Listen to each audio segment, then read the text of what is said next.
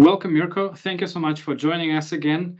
Um, we will be talking about the Las Vegas Grand Prix. For the first time, it happened in the States, and I know that you have a great visualization for us again. So what do you have? Yeah, sure. So I'm going first to show you the analysis. I'm going to analyze the speed trap readings by the speed trap at the end of the main straight in sector three, okay? And in particular, I'm interested into noticing any pattern, okay, concerning the speed values for different drivers, for example. This is because in Las Vegas, uh, as we know, the top speed and in general, the straight line speed played a very big role uh, concerning performance. And also it was impacted a lot by the tows and the DRS that happened throughout the race. So um, in general, we are going to see how the different drivers Uh, had different values of top speed, whether we can notice a trend concerning the different cars or trends concerning the different driving conditions uh, throughout the race. Yeah, that's that that looks great already. Uh, but this is this is a graph that is already ready-made, right? So this is something that you prepared, that you brought with you. Um, but I'm curious to actually see how exactly you arrived at that graph, just going from the data to these visualizations. Do you mind showing this to us? Yeah, sure. So I'm going to show you how this visualization is created in JMP. So obviously, we are interested into the um, speed trap reading, okay, value.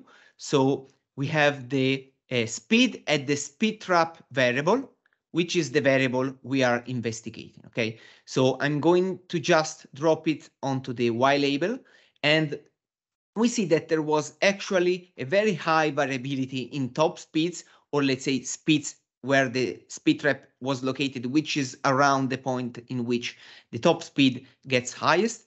But we noticed that even though there are very high values, like 350 kilometers per hour, we have also a lot of values which have a significantly and also uh, unexpectedly lower value of speed, like up to a minimum of 67 kilometers per hour, which is not something that you should expect in a racing condition.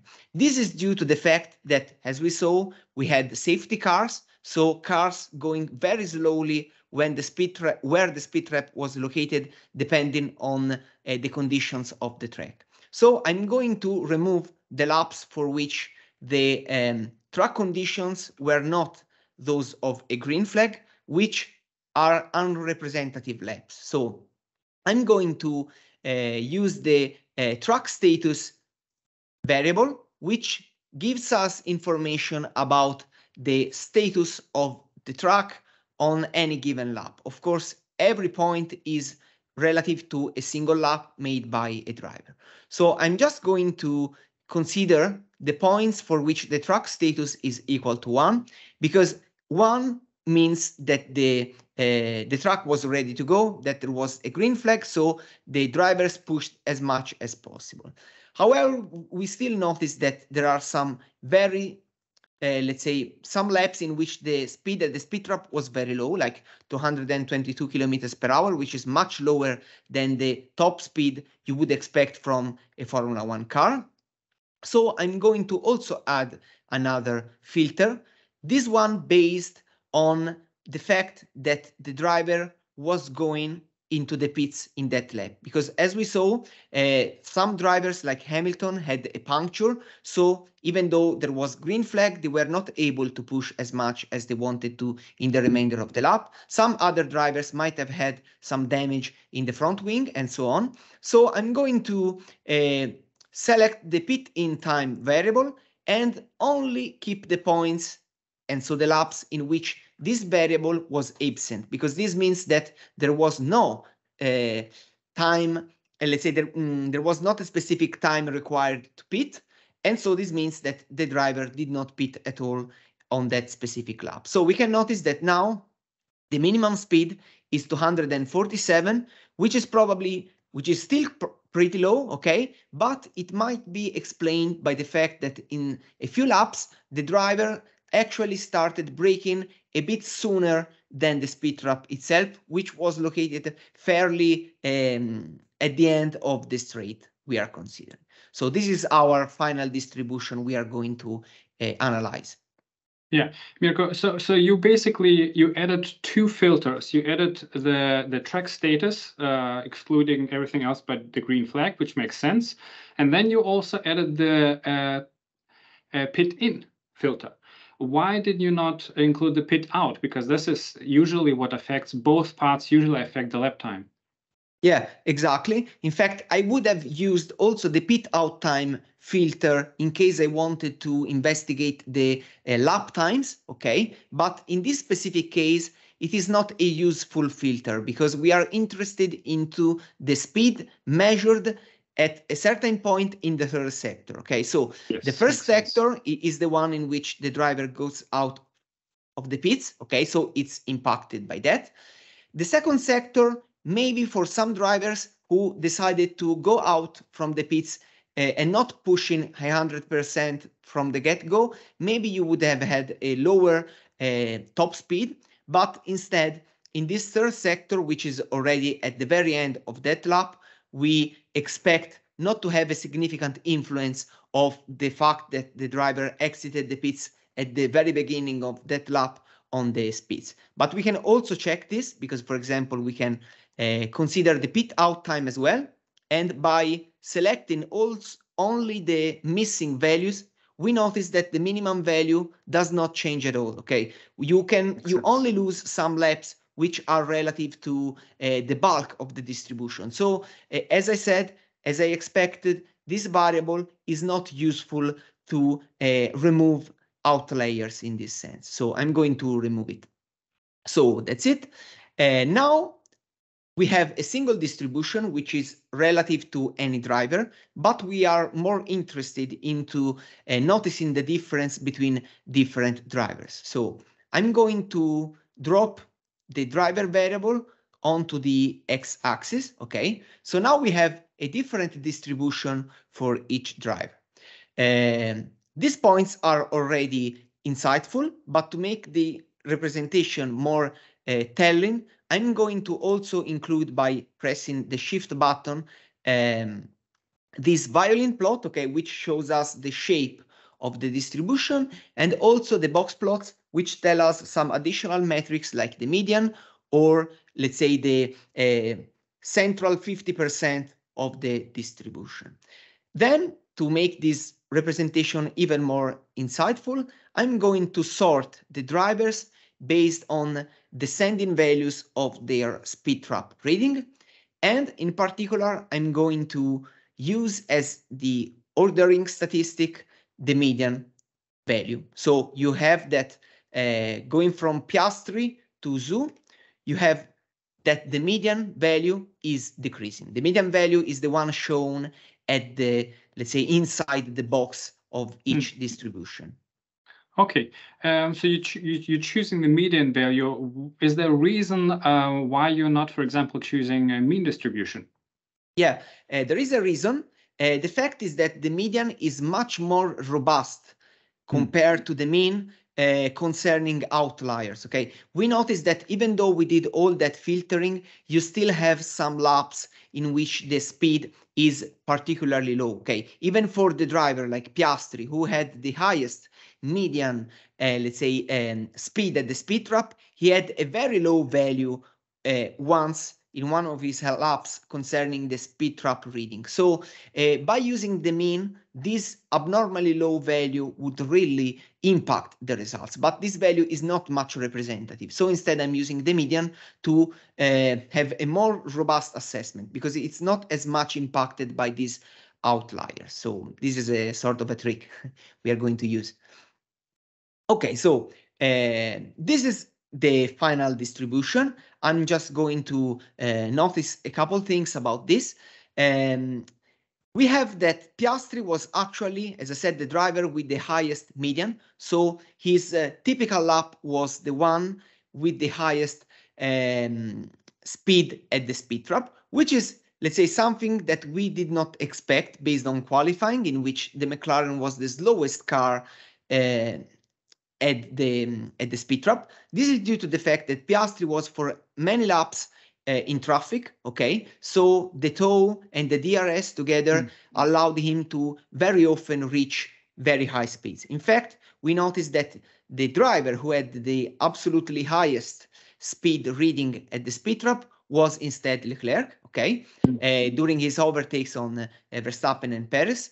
And in fact, the Ferrari was uh, the car was one of the cars with the higher uh, top speed in qualifying, which is more representative because you don't have many tows and everyone is using DRS. So the absolutely maximum value, uh, as expected, should belong to a car which has intrinsically lower drag. While, for example, depending on how the race proceeds, the median top speed value could be relative to a car like Piastri's McLaren, who has more drag, but instead was very often inside the traffic and could use the tow and the DRS more often than other uh, cars.